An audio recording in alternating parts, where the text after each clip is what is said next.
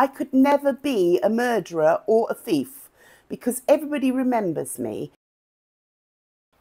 So, my cat has now decided, literally, the minute the tripod comes out, that it's his turn to be filmed. He really is a little bit of a diva, aren't you, darling?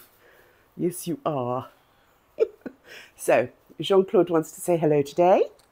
We've got a bit of an interesting haul today uh, because it's a, a, very mixed bag of interesting things. But let's go for it and show you what we've got. Now, you've got to go, go and lie on the clothes. Go on. Go and lie on the clothes. Go on. No, you can't hang around here all the time. He's going to hang around. Okay, we're just going to ignore him. He's, as I said, he's getting too much. He wants to be the star of everything. So this outfit is the last of the Banduro haul. I promise it's the last. But the thing is, I did so well. I really, I probably had about 10 wearable outfits from that one trip into that shop and I paid very little money for all of them. So again, this will be working out at 13 ringgit 50, which is very, very, very reasonable. Now, I originally picked this up thinking it was a nightie, but realised quickly enough that you really couldn't go to bed in something that had long dingly dangles all over it.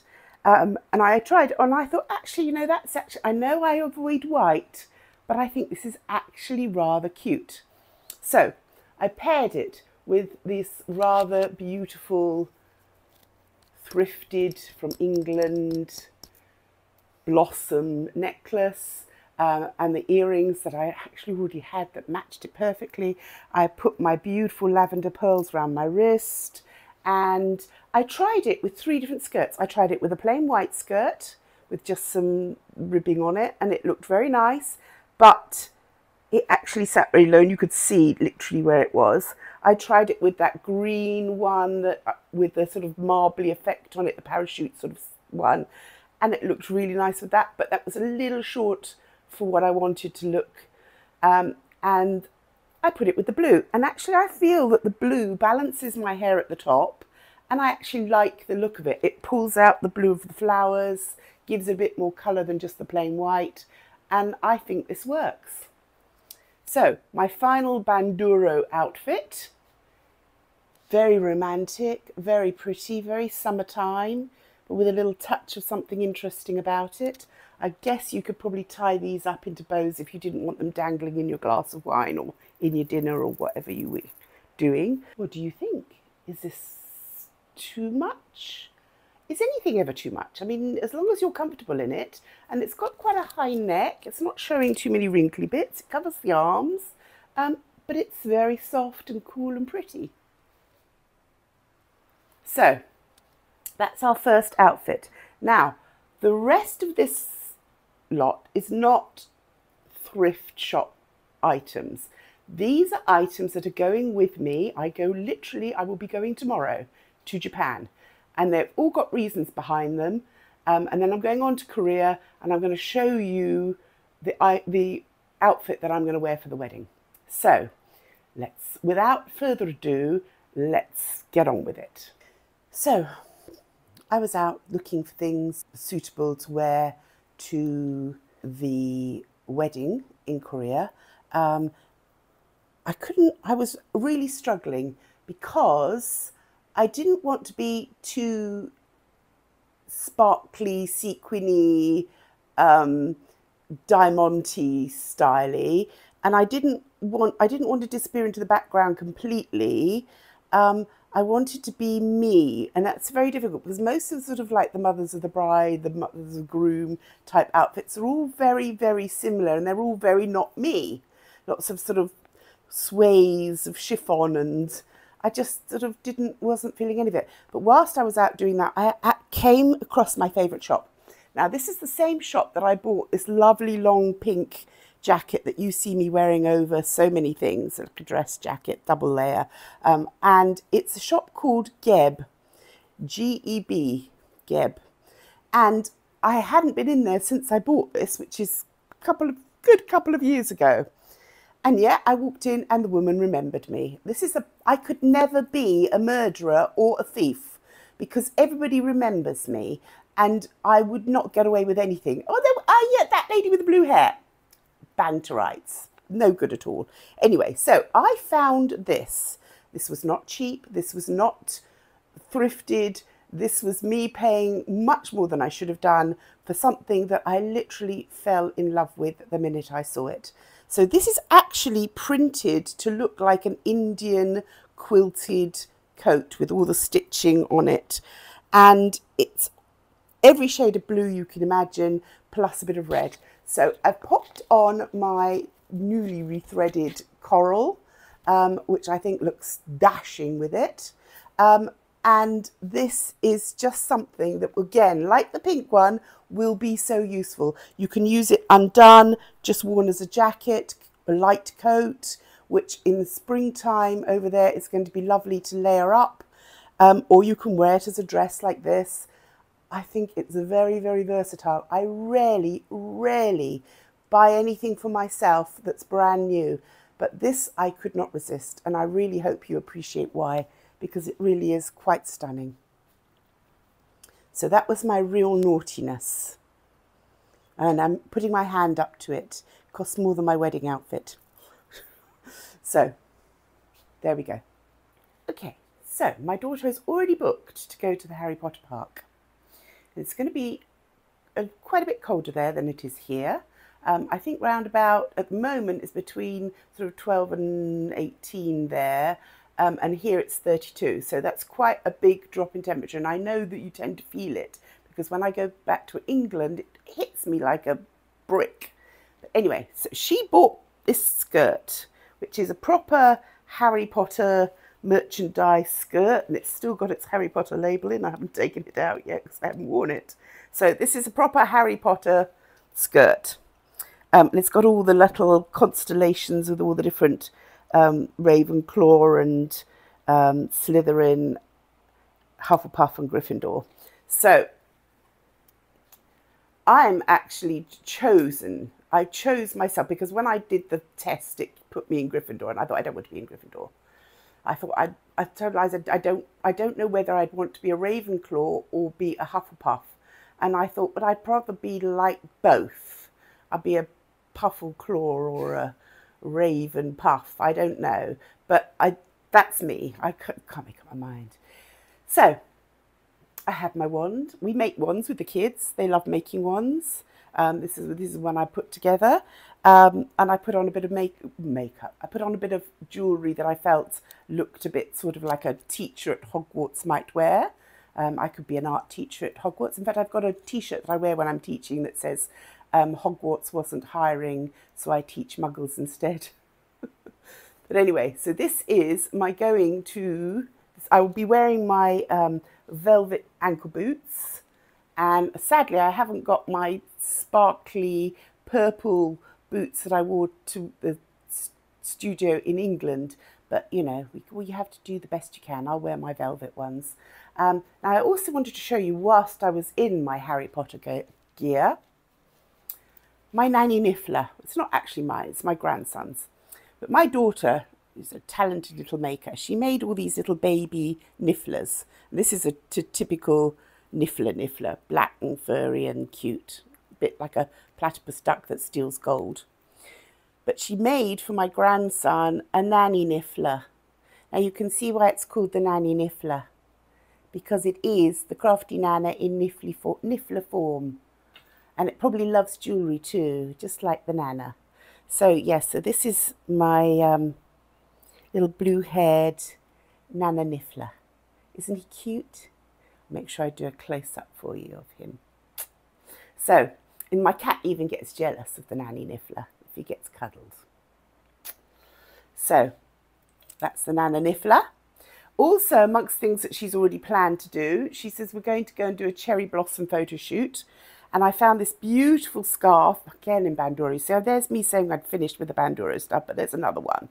So I'm going to take my little pink dress and I'm going to put it with this cherry blossom scarf so that when we do our photo shoot of cherry blossom, I'm all pink and blossomy as well, but with a little bit of blue just to pick out the hair, and it's cute. So that's the next outfit, and we're on to our final and most important outfit. so the first one asked him, is it your husband? Oh, And how did she know? That's great. Does that make me look old? No, and then she said, oh, handsome, and I just, So this is what I finally chose to wear for my son's wedding. And Joy's wedding. Um, it's not traditional. Uh, they did. Joy, his lovely wife, said to me, "I'm hiring hanboks for my parents. Would you like me to hire you one?" But I felt that that's their thing, and they should shine in that. And I didn't want to sort of be in like wearing their clothes. Now, obviously, this is not certainly not English. um, it is very much Indian, but Indian is the style that I feel comfortable in, um, and I quite often choose to wear Indian clothes. Um, I hope nobody thinks that it's appropriation, but they're comfortable. They suit me, and I like the over the top without being over the top. It's got all this beautiful printing on, but it isn't sparkly. It isn't glittery. I mean, some of them are, but this one definitely isn't. My daughter even sweetly said to me, "Oh, I could do some embroidery and put some," and I said, "No, no, it doesn't need it." Um, and the thing is, it also then gives me a chance to wear some sentimental pieces of jewelry. Now, the earrings and yes, this be here were my mother's. They're Butler and Wilson. Um, they're vintage, and she passed on the 24th of, of December this year, Christmas Eve. She did get the chance to meet um, my son's then fiance. So, uh, but she obviously didn't make it to the wedding. So, I'm wearing her bees. Um, this is the family bee that all the ladies in my family wear, and it matches my Gucci bee that my daughter bought me. Is the real thing. Um, and I found in Lavisa this little necklace that I think goes really well with my mother's bees. It's a little bit whiter, but I think it's a really good match. So I was really chuffed when I found this. And funnily enough, it probably cost us exactly the same as the outfit. The outfit was from Lazada. It really, really was not expensive. Um, I think it was 57 ringgit. Um, but it's not about how much something costs. It's about how much you love it. Um, and my husband reminded me of a story which shows that I've always been a little bit thrifty.